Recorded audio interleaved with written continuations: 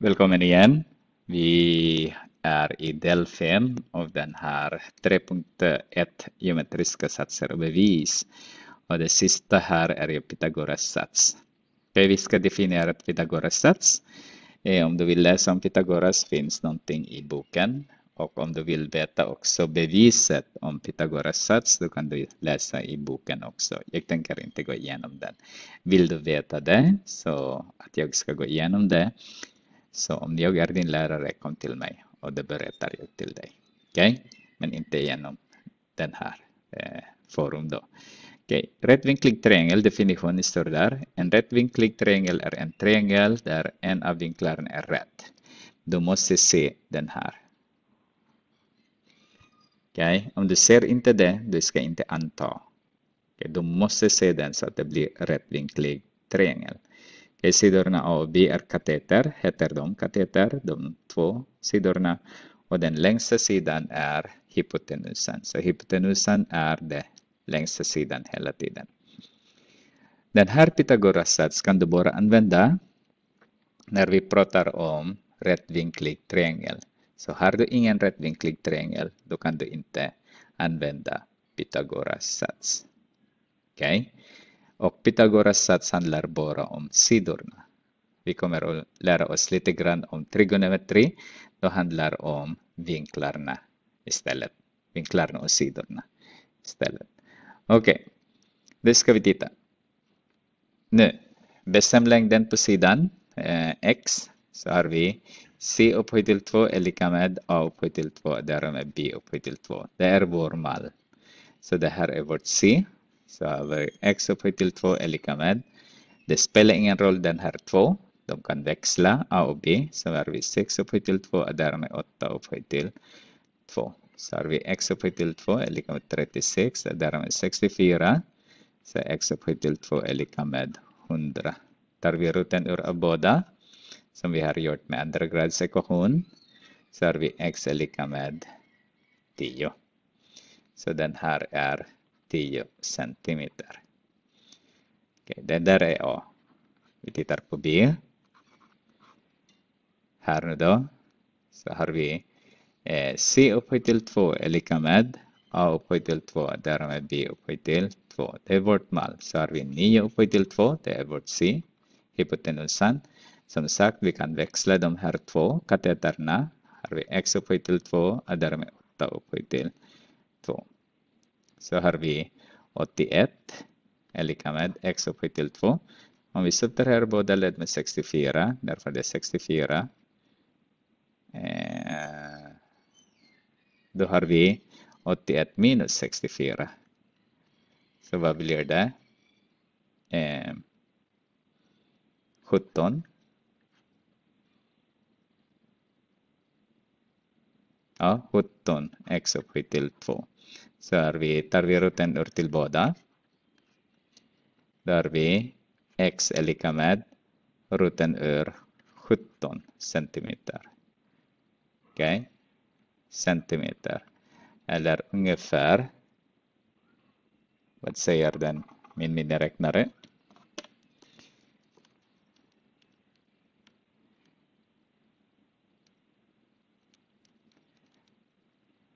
Ruten ur 17 så har vi 4,12 centimeter. Ungefär 4,12 centimeter. Eh, om man har lärt sig om värdesiffror, det ska vara ungefär 4 cm. Därför vi, har, vi har bara en eh, värdesiffra där. Okay. vi fortsätter. Bestäm arean av en kvadrat vars diagonal är 16. Så om jag har en kvadrat så här, det är inte perfekt, men åtminstone. Och diagonal är 16 centimeter vi ska skriva centimeter här så vi inte glömmer. Så vet jag inte den där, det vet jag inte den heller.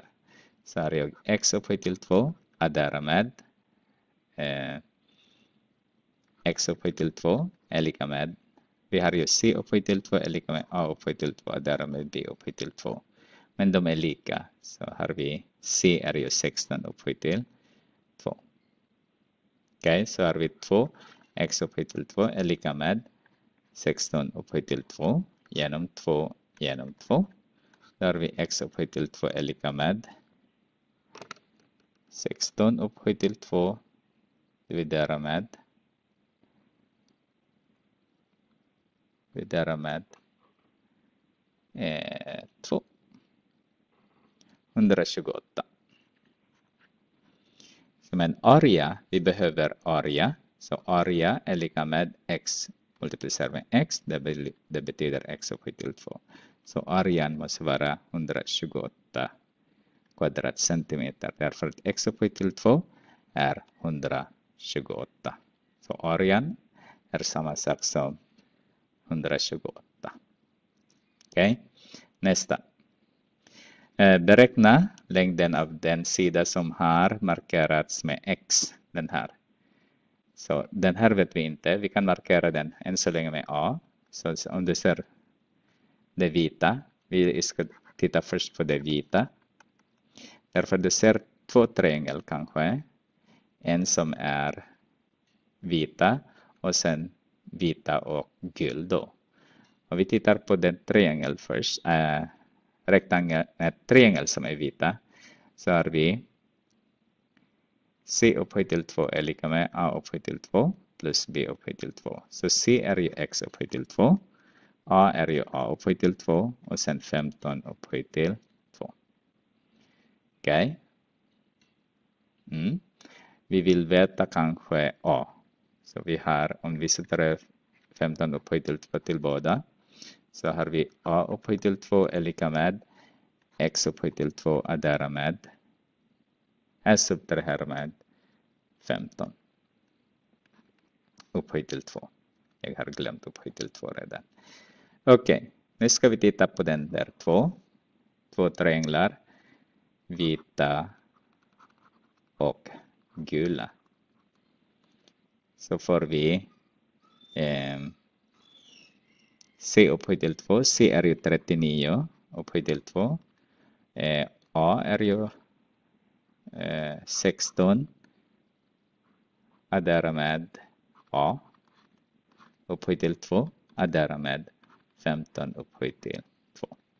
Så 39 upphöjt till 2 är lika med 16 upphöjt till 2 addera med. Om du kan inte den så jag skriver ju 32 A addera med A upphöjt till 2 addera med 15 upphöjt till 2. Mm -hmm. Ja.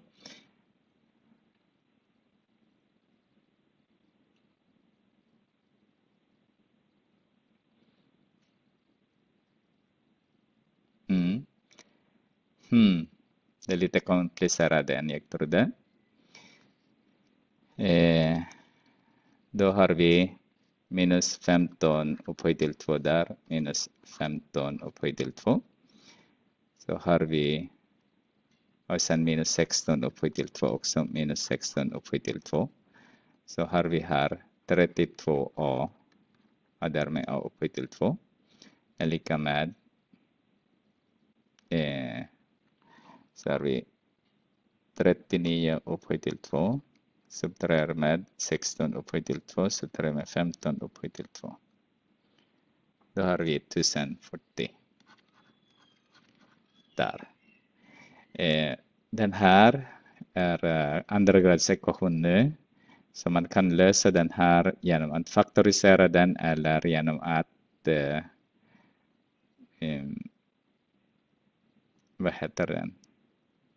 Genom att använda PQ-formel. Men ni har inte gått igenom PQ-formel än, så vad jag ska göra är att vi, eh, vi introducerar PQ-formel helt enkelt. Inte introducera PQ-formel därför att ni har inte gått igenom än. Men faktorisering kan vi göra. Till exempel den här nu då, a upphöjt till 2 eh, addera med 32a. Om vi subtraherar båda med 1040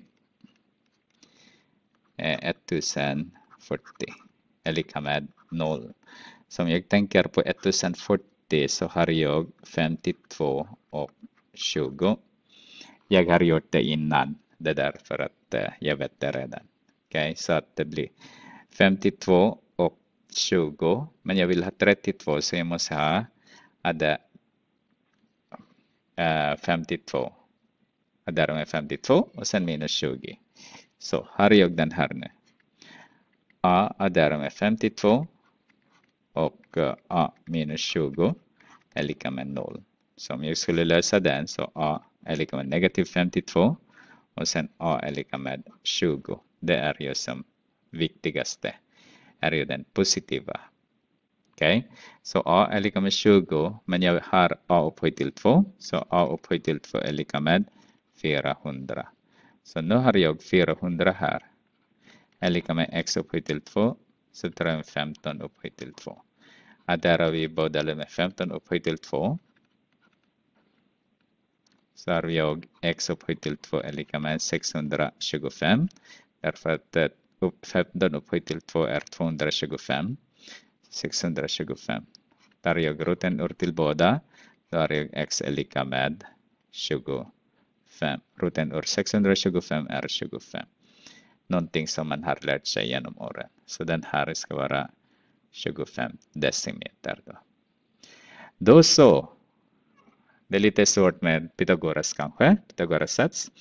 Men du får träna dig eh, i sidan 125 till 127, 3145 till 3157.